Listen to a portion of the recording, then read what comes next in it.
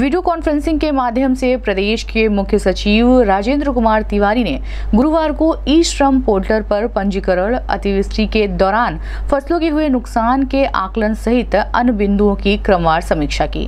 मंडलायुक्त सभागार में आयोजित वीडियो कॉन्फ्रेंसिंग में मंडलायुक्त रवि कुमार एनजी जिलाधिकारी विजय किरण आनंद जीडीए वीसी प्रेम रंजन सिंह सहित संबंधित विभागों के अधिकारी मौजूद रहे। वीडियो कॉन्फ्रेंसिंग के माध्यम से मुख्य सचिव आर के तिवारी ने ई श्रम पोर्टल पर श्रमिकों के पंजीकरण कार्यों में तेज़ी लाने के निर्देश दिए तथा कहा कि अतिवृष्टि के कारण किसानों के फ़सलों के नुकसान का आकलन कर उन्हें उचित मुआवजा प्रदान किया जाए, जिससे किसानों के फ़सलों की क्षतिपूर्ति की जा सके। इसके अलावा मुख्य सचिव आर के तिवारी ने शासन द्वारा संचालित विभिन्न योजनाओं की समीक्षा करते हुए आवश्यक दिशा निर्देश दिए। इसमें ज़िले में कुछ सरकारी ज़मीन भी पेंडिंग है और कुछ दिखाई गई है और कुछ वन विभाग डी ललितपुर नोट कर लें सर नोट है सर उसी में एनओसी का फॉरेस्ट डिपार्टमेंट का एनओसी करना है सर इसी में सर कोई कठिनाई हो तो सचिव वन पर्यावरण से बात कर लें।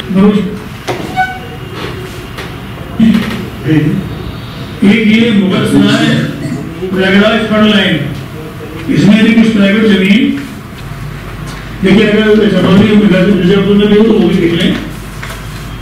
अलीगढ़ खंडवा में फ्लाईओवर इसमें अलीगढ़ में मतलब इसमें भी झांसी, आगरा और मथुरा में गवर्नमेंट लैंड भी और प्राइवेट लैंड भी दी जाती इसके बारे में ये अभी कार्यक्रम कार्यान्वयन भी इसको जरा फॉलो कर लेंगे।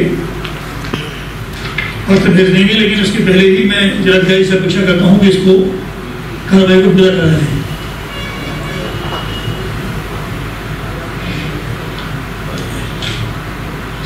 दूसरा एक ये E C S preliminary examination चौबीस अक्टूबर को है, जैसा कि आपको जानकारी होगी, दोनों पारियों में। उसमें समीक्षा कर लें, देख लें कहीं कोई कठिनाई ना हो। इस बारे में यूपी पी एस सी ने भी निर्देश भेजे हैं और कार्मिक विभाग ने भी निर्देश भेजे हैं। इसकी स्टैंडर्ड ड्रिल होती है, लेकिन इसमें जो भी कार्रवाई अपेक्षित वो कर लें ताकि पारदर्शी और स्वच्छ तरीके से परीक्षा संपन्न हो जाए।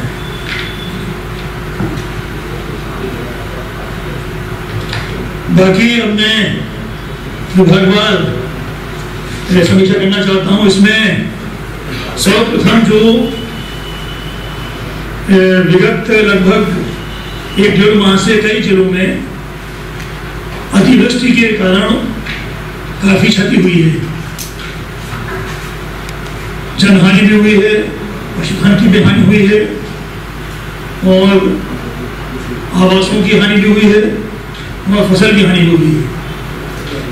इस बारे में राजस्व से